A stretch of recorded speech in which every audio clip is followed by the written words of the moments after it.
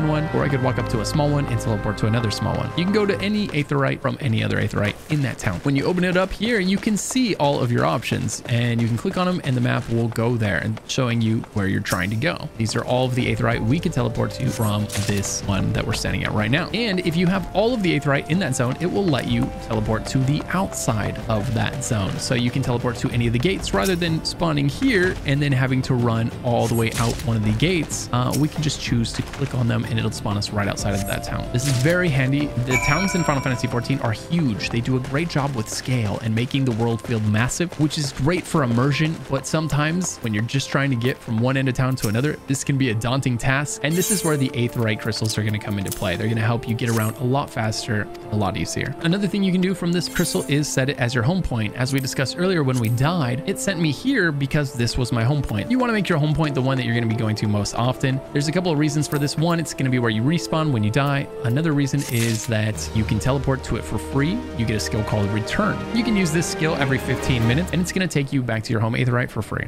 From this Aetheryte, you can also choose to visit another world server. Uh, if your friend is on another server on the same data center as you, you can also register a crystal as a favored destination or a free destination if you don't want it to be your home point, but you know you're going to be going there often and you want cheaper travel. Speaking of getting around, once you start collecting Aether Currents so that you can unlock flying in expansion zones, you're going to unlock something called an Aether Compass. Be sure to put that on your bar so that you can click it at any time. It's going to tell you how far you are from an Aether Current. Once you collect all of the Aether Currents in a zone, you'll be able to fly in that zone. So if we click this compass right now, it's going to tell me right here in the middle, uh, 296 yalms to the northeast is where the nearest Aether Current is. A yalm is a yard. You can tell by the first letter. So if it says ilm, it's an inch. If it says yalm, it's a yard. If it says malm, it is a mile. So just remember the first letter is what determines the distance, okay? It's it's pretty much always going to be it to you in yalms. Sometimes during cutscenes, you'll hear them say home or mom or something like that. And now you'll know what that means. So we're to go ahead and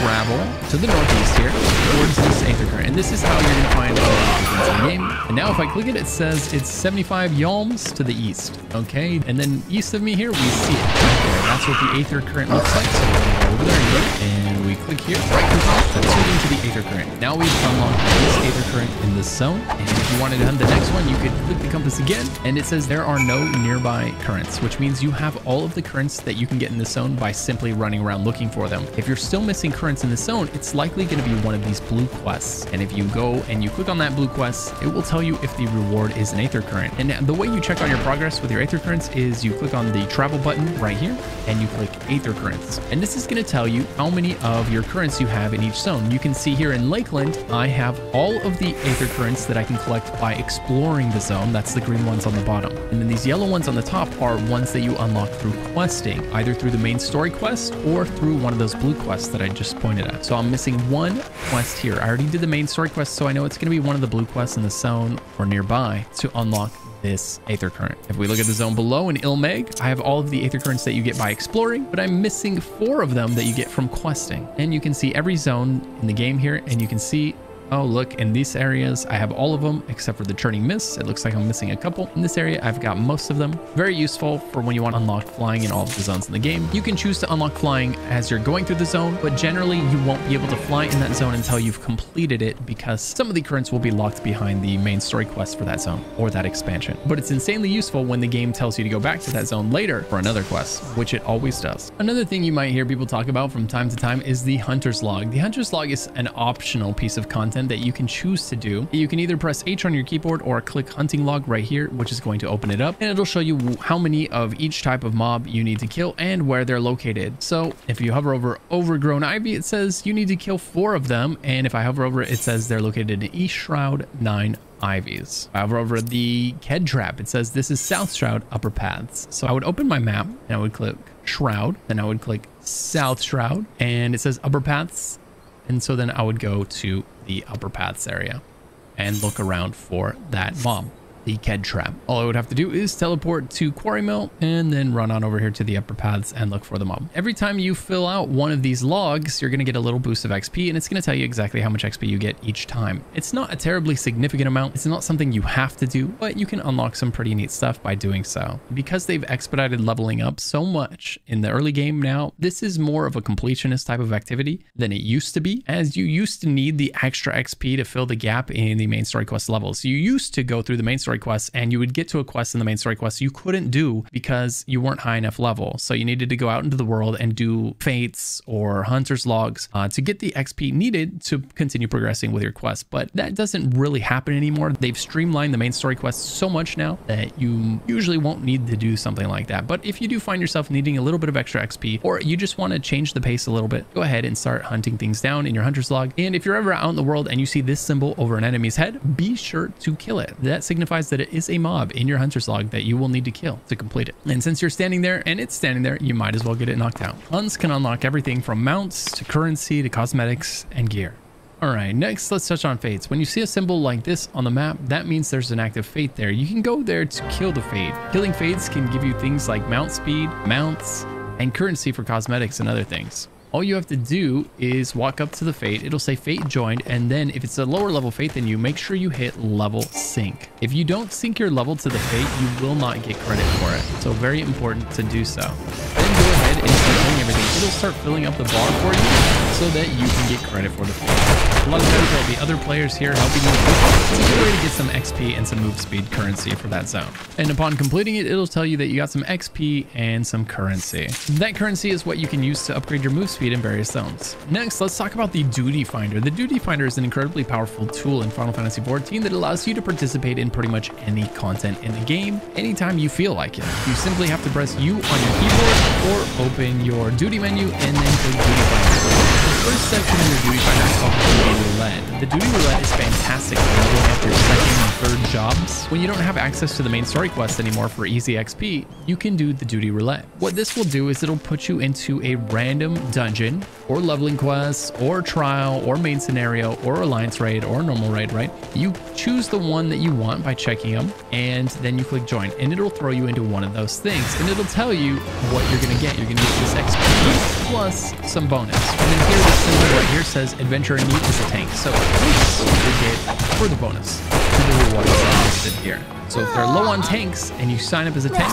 you get extra experience, extra gil, that sort of thing. Uh, you also get tomestones of poetics and stuff like this. You can use these to buy the best in slot gear for each uh, expansion. So all in all, your duty roulette is something that's very much worth doing when you're looking for XP, gil, or tomestones. Alternatively, you could come in here to queue up for a very specific a dungeon the you can come in here, queue up for that dungeon specifically so that you can get it done for your quests, and then continue on with your main story quests. Same thing with Shadowbringer, uh, Stormblood, and so on. The content, if you see a grayed out box, that's content you don't currently have access to. And then we have trials. Same thing. When you unlock trials, you can queue up for them here in the duty finder. Just look for this little monster face and then check the box that you want to go do. Next, we have various raids you can queue up for, sometimes 24 man raids, sometimes 8 man raids. And then finally, you have your various types of PvP that you can queue up for as well. But basically, the duty finder is going to be how you get into group content when you don't have a pre-made group of people to jump into it with. And it works incredibly well. Don't be shy about using it. All right, now let's talk about navigating the map in Final Fantasy XIV because it's not immediately intuitive. You can resize the map down in the bottom right corner. You can make it whatever size you want. There's plenty of customizing you can do for this thing.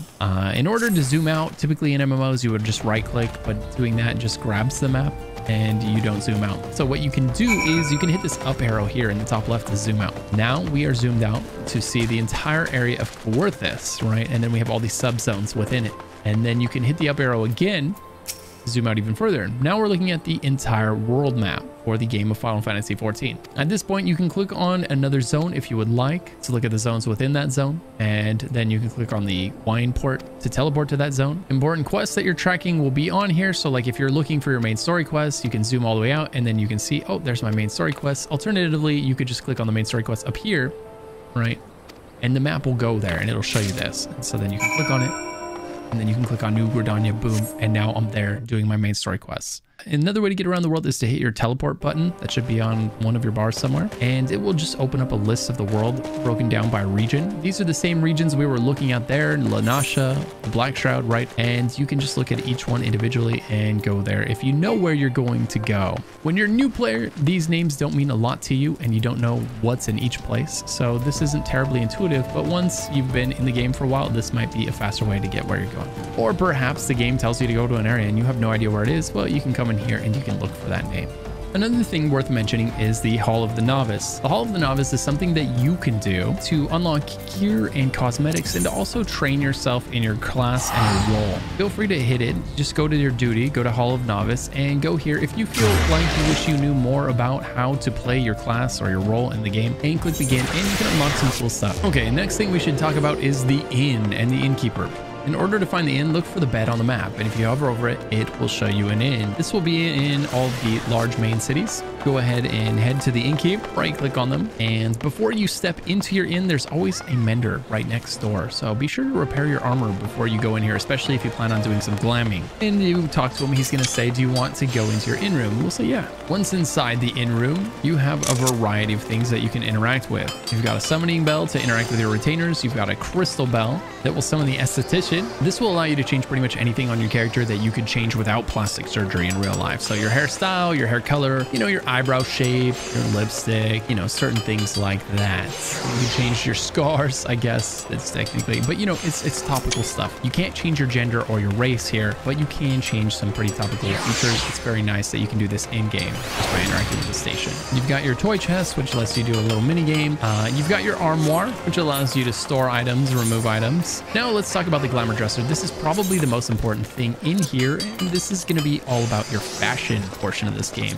How do you see all those cool looking characters running around? Well, a lot of times you're going to find gear in this game that looks really cool, but it doesn't have great stats. Or you'll get a quest item that looks really cool, but again, it doesn't have great stats. Or maybe it's too low level for you, but it looks way cooler than anything you've got right now that you're finding at a higher level. Uh, there's a lot of items in the game that just look really cool, but they're not necessarily the best in slot for stats. So this is where the Glamour Dresser comes into play. What you're going to do is you're going to click on your Glamour Dresser, and then you're going to look for the item. Let's say you found uh, you found or you farmed a really cool looking uh, weapon, right?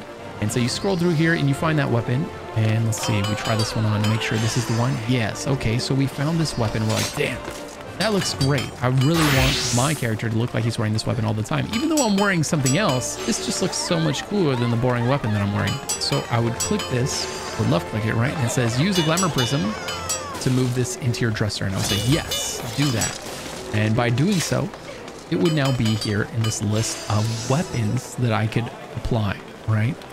So you have to use the Glamour Prism. It's uh, it's an item that you'll find in your inventory and you can purchase in game and you'll even get some of them as a quest reward when you unlock Glamour. Here they are right here. I've got 220 of them, right? So every time I add an item from here and I put it in my dresser, it's going to cost me Glamour Prism. But when I need to apply it, it's, you know, it's in here. It's not going to cost me anything anymore. I can use it forever. So I would then pick one of the weapons that I put in here. So let's try on this one. What is this? Uh, no, you know, I don't like that one much. Let's see what this one is.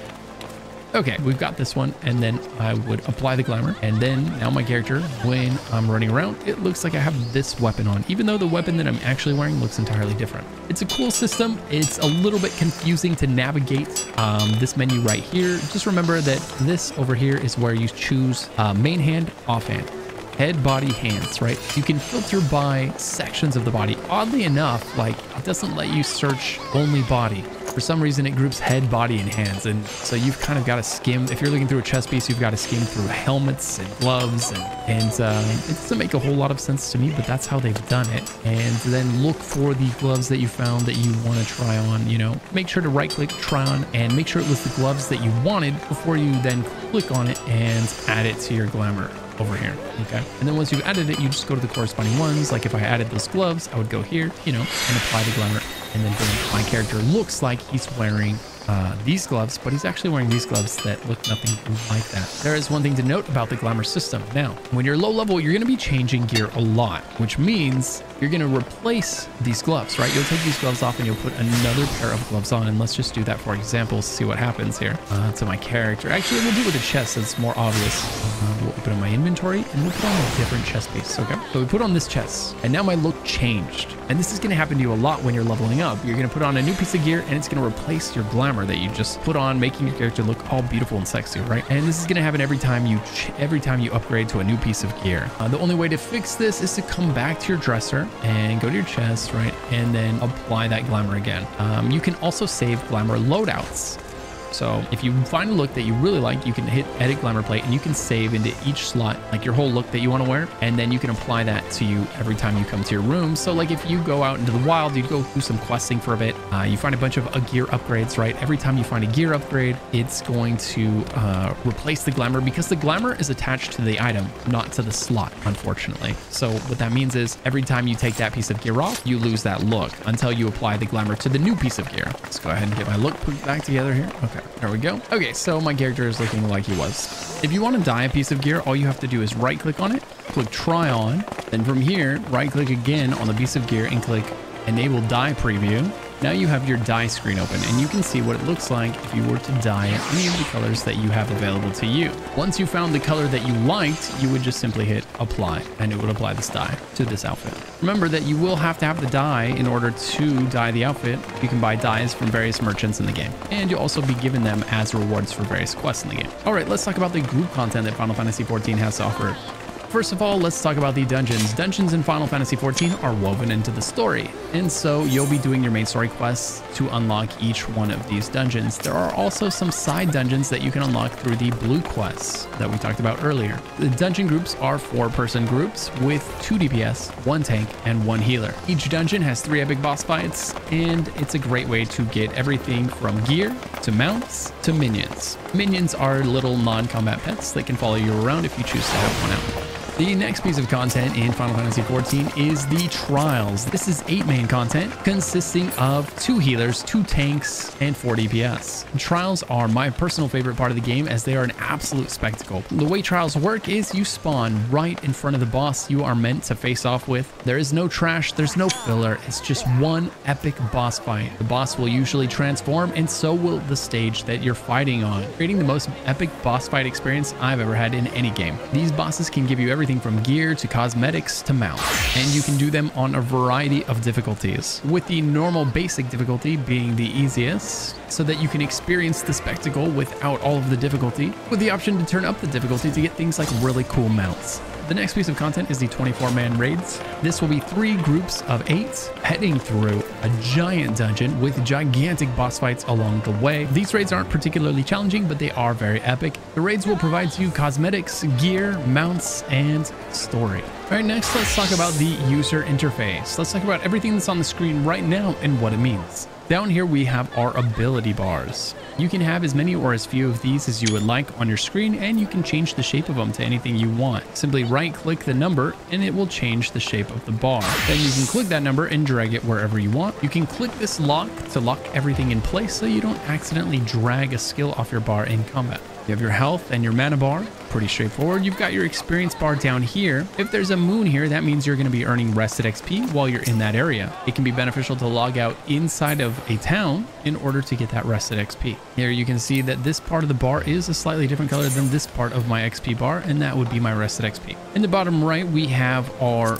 you can see all of these symbols here signifying how full my inventory is. You've also got all of your menu options. You can click on this and we'll go through all of these here in a moment so that you know what each of these things is as this can probably be the most daunting part of this entire game is, is this menu system right here and learning your way around it, learning what you need and what you don't need. So we'll jump into that next. Over here we have our quests, our active quests. You can either click on the quest name to bring it up in your journal. You can open your journal anytime by pressing J, or you can click on the quest description, which will open up the map and take you to where you need to go for that quest so that you can click on the nearest aetheryte and teleport to it. Again, the name opens up the journal, the description opens up the map.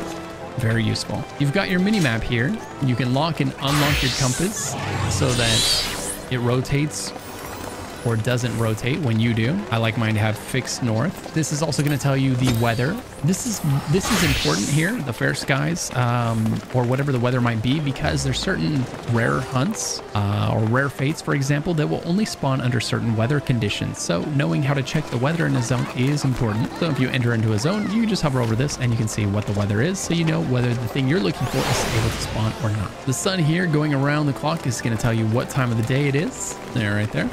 And you can zoom in or out on this if you want. Right here, you have the time, your connection, and your mail. It says I have one piece of mail. And I'll show us how to check our mail here in a moment. In the top left, as we discussed before, you have your main story quest. And below that, if you have a job quest to do, you can click on that to see where to go for your job quests.